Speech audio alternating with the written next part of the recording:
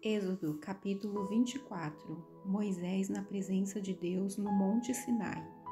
Depois disso, Deus falou a Moisés: Subi ao Senhor, tu e Arão, Nadab e Abiú, e setenta anciãos de Israel, e adorai de longe. Só Moisés se aproximará do Senhor, os outros não se aproximarão, nem o povo subirá com ele Moisés foi e relatou ao povo todas as palavras do Senhor e todos os estatutos. Então, unânime, todo o povo respondeu: Faremos tudo o que o Senhor falou. Então Moisés escreveu todas as palavras do Senhor, de manhã cedo. Ao se levantar, Moisés edificou um altar na base do monte e doze colunas de pedra, segundo as doze tribos de Israel. E enviou alguns rapazes israelitas que ofereceram holocaustos e sacrificaram bois ao Senhor como sacrifícios pacíficos. Moisés pegou metade do sangue e colocou em bacias, aspergindo a outra metade sobre o altar. Também tomou o livro da aliança e o leu diante do povo, que então disse: Faremos em obediência tudo o que o Senhor falou.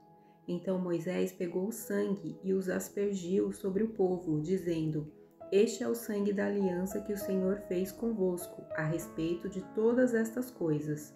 E Moisés e Arão, Nadab e Abiú e setenta anciãos de Israel subiram, e viram o Deus de Israel, sob cujos pés havia algo semelhante a uma calçada de pedras de safira que brilhava como o próprio céu. Mas Deus não estendeu a sua mão contra esses israelitas escolhidos, eles viram a Deus e depois comeram e beberam. Depois dessas coisas, o Senhor disse a Moisés: Sobe até mim no monte e espera ali. Eu te darei tábuas de pedra com a lei e os mandamentos que escrevi para que ensines a eles. Então, juntamente com Josué, seu auxiliar, Moisés levantou-se e subiu ao monte de Deus, e disse aos anciãos: Esperai-nos aqui até que voltemos. Arão e Ur ficarão convosco. Quem tiver alguma questão, dirija-se a eles. E tendo Moisés subido a nuvem, cobriu o monte. E a glória do Senhor repousou sobre o monte Sinai, e a nuvem o cobriu durante seis dias. No sétimo dia, do meio da nuvem, Deus chamou Moisés. Aos olhos dos israelitas, a aparência da glória do Senhor no alto do monte era como fogo que consome. Mas Moisés entrou no meio da nuvem enquanto subia ao monte. Moisés esteve no monte quarenta dias e quarenta noites. Êxodo capítulo 25 Deus ordena que o povo traga ofertas para o tabernáculo. Então o Senhor disse a Moisés: Fala aos israelitas que me tragam uma oferta. Recebereis a oferta de todo homem cujo coração o levar a contribuir. E esta é a oferta que recebereis deles: ouro, prata, bronze, tecido azul, púrpura, carmesim, linho fino, pelos de cabras, pelos de carneiros, tingidos de vermelho, peles de animais marinhos, madeira de acácia, azeite para iluminação, especiarias para o óleo da unção e para o incenso aromático, pedras de berilo e pedras de engaste, para o colete sacerdotal e para o peitoral. Eles me farão um santuário para que eu habite no meio deles, e fareis conforme tudo o que eu te mostrar como modelo do tabernáculo e de todos os seus utensílios. A Arca da Aliança também farão uma arca de madeira de acácia. O seu comprimento será de dois côvados e meio, e a sua largura e altura de um côvado e meio. Tu a revestirás de ouro puro, por dentro e por fora a revestirás, e farás sobre ela ao seu redor uma moldura de ouro, e lhe fundirás quatro argolas de ouro, que colocarás os seus quatro cantos, duas argolas de um lado e duas do outro também farás vara de madeira de acácia, que revestirás de ouro. Passarás as varas pelas argolas nos lados da arca, para carregá-la com elas. As varas permanecerão nas argolas da arca e não serão tiradas, e porás na arca o testemunho que te darei. o propiciatório de ouro puro. Também farás um propiciatório de ouro puro, com dois côvados e meio de comprimento e um côvado e meio de largura. Farás também dois querubins de ouro batido nas duas extremidades do propiciatório. Farás um querubim em cada extremidade. Serão feitos para formar uma só peça com o propiciatório nas duas extremidades dele. Os querubins terão as asas estendidas por cima do propiciatório, cobrindo-o.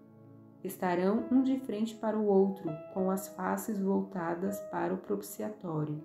Colocarás o propiciatório em cima da arca, e dentro da arca porás o testemunho que te darei. Ali virei a ti, e de cima do propiciatório, do meio dos dois querubins que estão sobre a arca do testemunho, falarei contigo a respeito de tudo o que eu te ordenar para os israelitas. A mesa para os pães consagrados. Também farás uma mesa de madeira de acácia com dois côvados de comprimento, um côvado de largura e um côvado e meio de altura. Tu a revestirás de ouro puro, e ao seu redor farás uma moldura de ouro. Também lhe farás ao redor uma borda de quatro dedos de largura, e em volta da borda uma moldura de ouro. Farás quatro argolas de ouro e as colocarás nos quatro cantos que estarão sobre os quatro pés. As argolas ficarão junto à borda, como lugar para as varas para carregar a mesa. Farás as varas de madeira de acácia e as revestirás de ouro, serão usadas para carregar a mesa. Também farás seus pratos, suas colheres, seus jarros e suas tigelas, com as quais se oferecerão as libações. Tu os farás de ouro puro, e sobre a mesa colocarás os pães consagrados, para que estejam sempre diante de mim. O candelabro de ouro. Também farás um candelabro de ouro puro e batido, tanto no seu pedestal como na sua haste, os seus copos, os seus cálices e os seus botões formarão com ele uma só peça. E de seus lados sairão seis braços, três de um lado e três do outro. Em um braço haverá três copos em forma de flor de amêndoa, com cálice e botão. Também no outro braço, três copos em forma de flor de amêndoa, com cálice e botão Assim serão feitos os seis braços que saem do candelabro. Mas na haste central haverá quatro copos em forma de flor de amêndoa, com seus cálices e botões. E haverá um cálice debaixo de cada par de braços, outro cálice debaixo de outro par de braços, e ainda outro cálice debaixo de outro par de braços, todos formando uma só peça com a haste. Assim se fará com os seis braços que saem do candelabro. Os seus cálices e os seus braços formarão uma só peça com a haste. Tudo será feito de ouro puro e batido.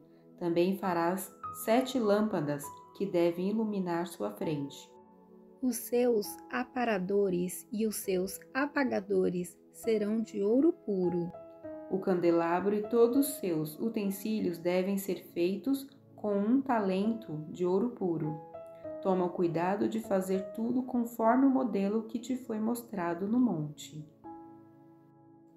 Êxodo capítulo 26 As cortinas do tabernáculo Farás o tabernáculo com dez cortinas de linho fino, torcido, e tecido azul, púrpura e carmesim, com querubins bordados nelas o comprimento de cada cortina será de 28 côvados e a largura de quatro côvados. Todas as cortinas terão a mesma medida. Cinco cortinas serão enlaçadas umas às outras. As outras cinco serão enlaçadas da mesma maneira. Farás laçadas de tecido azul na orla da última cortina do primeiro grupo Assim também farás na orla da primeira cortina do segundo grupo. Serão cinquenta laçadas na orla de uma cortina e cinquenta laçadas na orla da outra. As laçadas serão opostas umas às outras. Farás cinquenta colchetes de ouro, e com eles prenderás as cortinas uma à outra. Assim o tabernáculo será um todo. Farás também cortinas de pelos de cabras, para servirem de tenda sobre o tabernáculo. Farás onze cortinas assim. O comprimento de cada cortina será de trinta côvados, e a largura de quatro côvados. As onze cortinas terão a mesma medida. Reunirás cinco cortinas em um grupo e as outras seis em outro grupo, e dobrarás a sexta cortina na frente da tenda. Farás cinquenta laçadas na orla da última cortina do primeiro grupo, e outras cinquenta laçadas na orla da primeira cortina do segundo grupo. Farás também cinquenta colchetes de bronze, e introduzirás os colchetes nas laçadas. Assim unirás a tenda para que forme um todo. E o que sobrar das cortinas da tenda, a saber, a meia cortina que sobrar, será pendurada nos fundos do tabernáculo, e o côvado que sobrar nos dois lados, no comprimento das cortinas da tenda, será pendurado nos dois lados do tabernáculo para cobri-lo. Farás também para a tenda uma cobertura de peles de carneiro tingidas de vermelho e por cima desta uma cobertura de peles de animais marinhos. As tábuas do tabernáculo.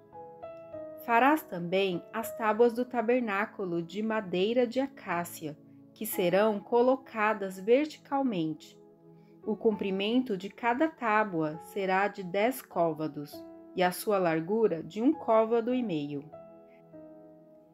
Cada tábua terá dois encaixes justapostos. Assim farás com todas as tábuas do tabernáculo. Ao fazer as tábuas do tabernáculo, farás vinte delas para o lado sul. Farás também quarenta bases de prata debaixo das vinte tábuas, duas bases debaixo de cada uma das tábuas, para os dois encaixes. Também farás vinte tábuas para o lado norte do tabernáculo, com suas quarenta bases de prata, duas bases debaixo de cada uma das tábuas. E farás seis tábuas voltadas para o fundo, o lado ocidental do tabernáculo. Farás também duas tábuas para os cantos do fundo do tabernáculo. Por baixo serão duplas, estendendo-se inteiras do mesmo modo, até a primeira argola em cima. Assim serão as duas tábuas dos cantos. Haverá oito tábuas, com suas dezesseis bases de prata, duas bases debaixo de cada uma das tábuas. Os travessões do tabernáculo. Farás também travessões de madeira de acácia, cinco para as tábuas de um lado do tabernáculo, cinco para as tábuas do outro lado e cinco para o fundo do tabernáculo no lado ocidental. O travessão central passará entre as tábuas de uma extremidade à outra. Revestirás de ouro as tábuas, e de ouro farás as suas argolas, por onde passarão os travessões, que também serão revestidos de ouro. Então levantarás o tabernáculo conforme o modelo que te foi mostrado no monte. O véu e a cortina do tabernáculo. Farás também um véu de tecido azul púrpura e carmesim, de linho fino torcido, com querubins bordados nele, e o suspenderás sobre quatro colunas de madeira de acácia, revestidas de ouro com colchetes de ouro sobre quatro bases de prata. Pendurarás o véu debaixo dos colchetes e levarás a arca do testemunho para dentro do véu. Este véu fará a separação entre o lugar santo e o lugar santíssimo. Porás o propiciatório sobre a arca do testemunho no lugar santíssimo. Colocarás a mesa do lado de fora do véu e o candelabro em frente à mesa para o lado sul do tabernáculo. A mesa ficará do lado norte. Farás para a entrada da tenda uma cortina de tecido azul, púrpura e carmesim, de linho fino torcido, obra de bordador. Farás para a cortina cinco colunas de madeira de acácia, revestidas de ouro, e com ganchos também de ouro, e fundirás para elas cinco bases de bronze. Êxodo capítulo 27 O altar do holocausto Farás também um altar de madeira de acácia. Ele será quadrado com um comprimento e largura de cinco côvados e três côvados de altura. Farás sair pontas nos seus quatro cantos. Essas pontas formarão uma só peça com o altar, e tu o revestirás de bronze.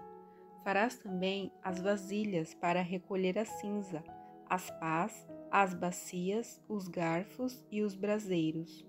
Todos os seus utensílios serão feitos de bronze. Farás também uma grelha de bronze em forma de rede e colocarás quatro argolas de bronze nos seus quatro cantos. E a colocarás debaixo da borda, em volta do altar, de modo que chegue até o meio do altar. Farás também varas para o altar varas de madeira de acácia, revestidas de bronze. Essas varas passarão pelas argolas e estarão de um e do outro lado do altar, quando este for carregado. Tu o farás oco e de tábuas. Será feito conforme te foi mostrado no monte. O átrio do tabernáculo. Farás também o átrio do tabernáculo. No lado sul, o átrio terá cortinas de linho fino, torcido, de cem côvados de comprimento. Terá vinte colunas e também vinte bases, todas de bronze. Terá vinte colunas e também vinte bases, todas de bronze. Os colchetes das colunas e as suas faixas serão de prata. Também haverá cortinas de cem côvados de comprimento ao longo do lado norte. Terá vinte colunas e vinte bases, todas de bronze. Os colchetes das colunas e suas faixas serão de prata. Na largura do átrio, do lado ocidental, haverá cortinas de cinquenta côvados. Terá dez colunas e dez bases a largura do átrio do lado oriental também a largura do átrio do lado oriental também será de 50 côvados. A largura do átrio do lado oriental também será de 50 côvados. As cortinas de um lado da entrada serão de 15 côvados, com três colunas e três bases. Do outro lado, as cortinas também serão de 15 côvados, com três colunas e três bases. Na entrada do átrio haverá uma cortina de 20 côvados de tecido azul, púrpura e carmesim, de linho fino, torcido, obra de bordador, com quatro colunas e quatro bases. Todas as colunas do átrio ao redor terão faixas de prata e colchetes de prata mas suas bases serão de bronze.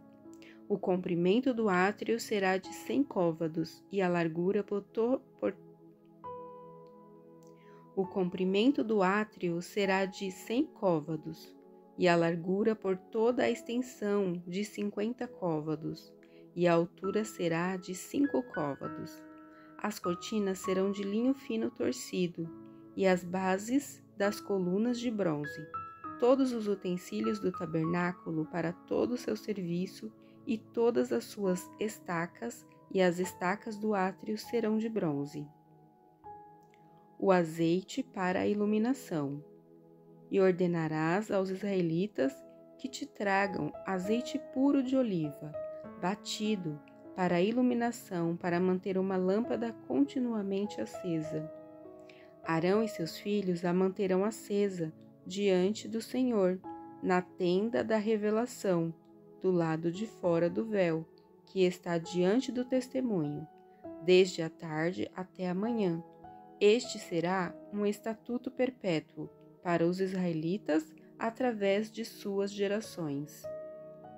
Êxodo capítulo 27 O altar do holocausto Farás também um altar de madeira de acácia.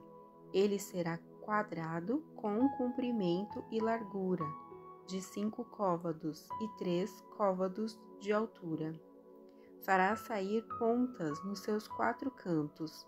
Essas pontas formarão uma só peça com o altar, e tu o revestirás de bronze. Farás também as vasilhas para recolher a cinza, as pás, as bacias, os garfos e os braseiros.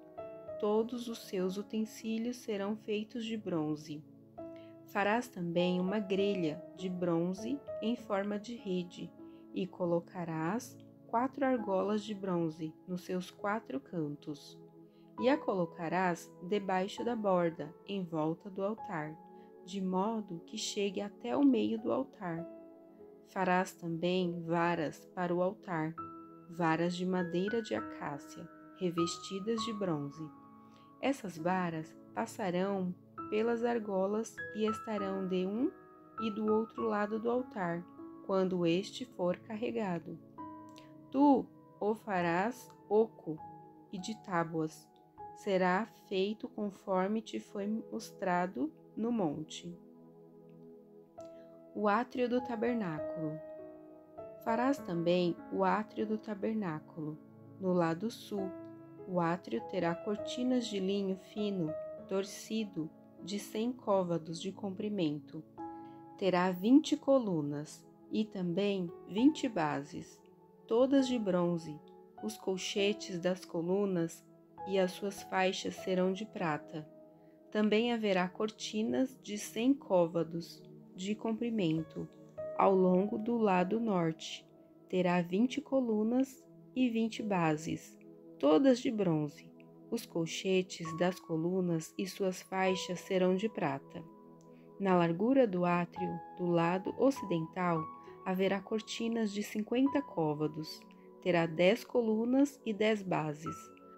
A largura do átrio do lado oriental também será de cinquenta côvados.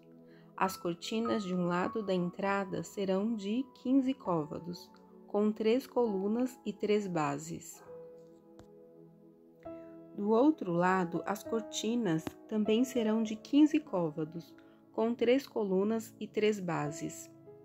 Na entrada do átrio haverá uma cortina de 20 côvados de tecido azul, púrpura e carmesim, de linho fino, torcido, obra de bordador, com quatro colunas e quatro bases. Todas as colunas do átrio ao redor terão faixas de prata e colchetes de prata mas suas bases serão de bronze.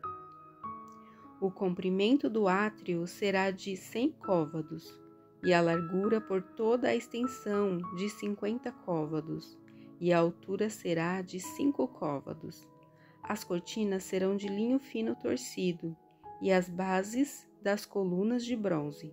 Todos os utensílios do tabernáculo para todo o seu serviço e todas as suas estacas e as estacas do átrio serão de bronze. O azeite para a iluminação. E ordenarás aos israelitas que te tragam azeite puro de oliva, batido, para a iluminação, para manter uma lâmpada continuamente acesa. Arão e seus filhos a manterão acesa diante do Senhor, na tenda da revelação, do lado de fora do véu, que está diante do testemunho, desde a tarde até a manhã. Este será um estatuto perpétuo para os israelitas através de suas gerações.